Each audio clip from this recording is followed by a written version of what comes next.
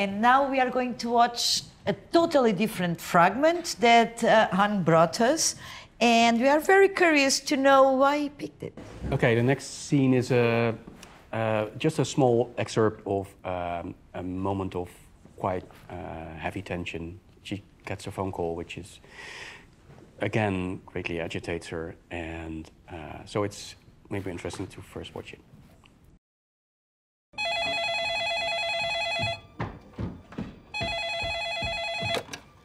Hello? I knew you'd be there. Who is this? You have to kill him before he kills you. You understand? You understand? Who?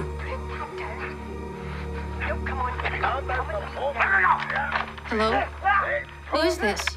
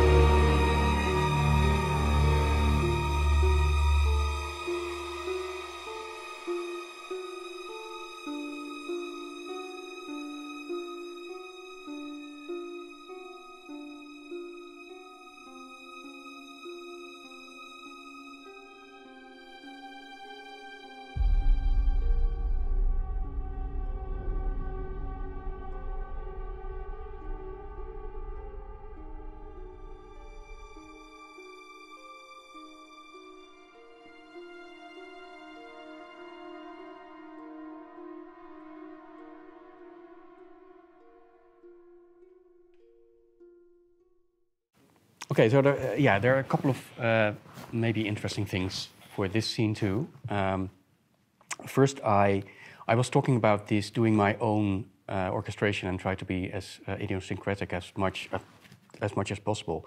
I tried something quite weird here is that the violinists have uh, to put extensive pressure on their bow when they're playing, and then when when you you have to play really near the bridge, otherwise you use, uh, lose your tone completely. But when you do that, and it really gets excessive, you get this almost acoustic uh, distortion sound, which I, I really liked.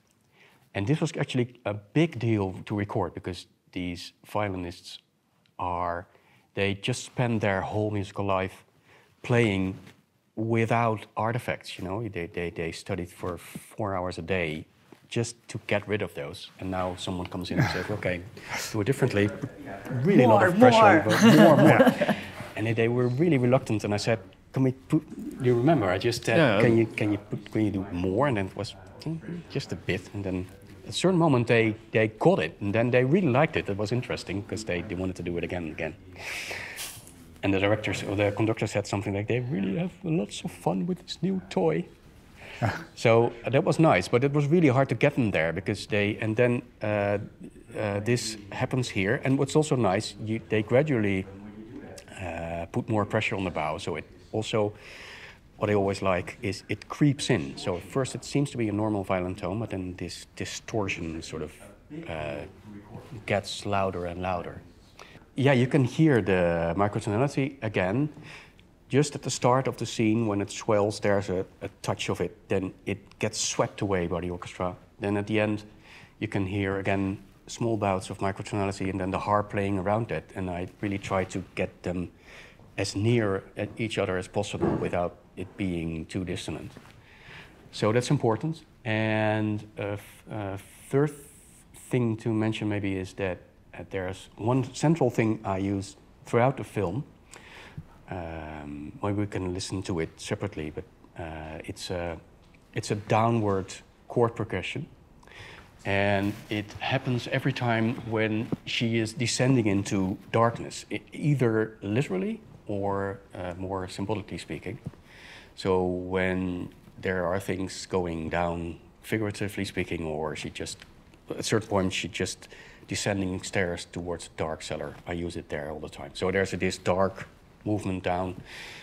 Then the orchestra starts creeping back towards its norm, its um, first position, and then it goes down again. And I use that lots of times. Here it's also present. So again, she uh, picks up the phone. There's this guy speaking, and there this downward motion uh, is played. This this whole project, it sounds like a lot of work because it's a It full is. feature movie, and um, Yeah, it def- yeah, you, you might have written several pieces for one scene or went back to the drawing board. I don't know, but how do you deal with that? I mean, Uh, well, uh, not. You try to. Yeah, there, there was uh, one scene uh, um, uh, I, had, I had on a certain moment version 9. No, 13 even, I think. Hmm? Maurits had some, there was some, some quite troublesome scenes here in, in this, for him this time, so. and then They- you just start over. Yeah, Yeah, but then you lose your, well, your, your freshness. And your- Yeah. So you, you really It's, have to yeah. shoot two or three times you can, you can try things, but then you're just lose it. Yeah, Just, nine times sounds like it's, a lot. it's too much. It's too much, Yeah. yeah. Yeah. Or would you then say, okay, what would you do and pick up from someone else, or Yeah, there was even one scene where I took over, but then the yeah, way around. again, this didn't really work out. This Yeah. this because this still Yeah. was uh, a really. Sometimes directors that that's that's a bit of I mean of course you can't uh, it, I mean it's uh, forgivable but they they have worked with this temp music during the whole editing process so they. Yeah. really love certain moments of that Yeah. and then when you start um, composing as a composer you you introduce a complete completely new sound world and but then directors like that when it's working but then there are certain scenes which they still want this temp Yeah. vibe and uh, that doesn't really fit into your thematic world your new Yeah. Musical world so that can be Yeah, especially for my kind of. I, I like to write pretty mel- mel- melodic, and melodies have uh, tell tell a story. So, yeah, uh, and the story has to fit exactly on on what the temp did. yeah so this is really impossible Well, Yeah. that is what the director uh, wants.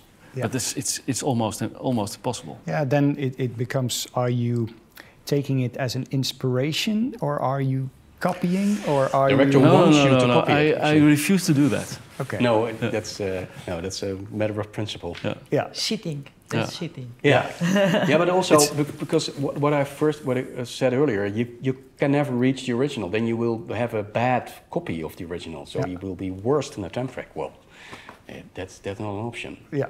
It, it's, uh, I think it's, it's a much better idea to uh, make on, on certain scenes the music before the, edi- the editing starts.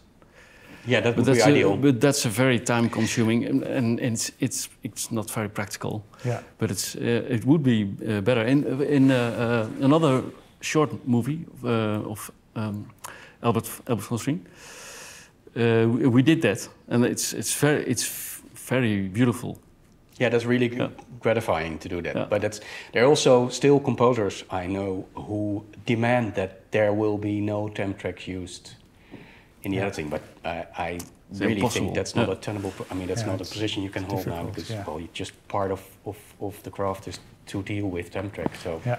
Yeah. But it can be because also again, uh, music is um, not so.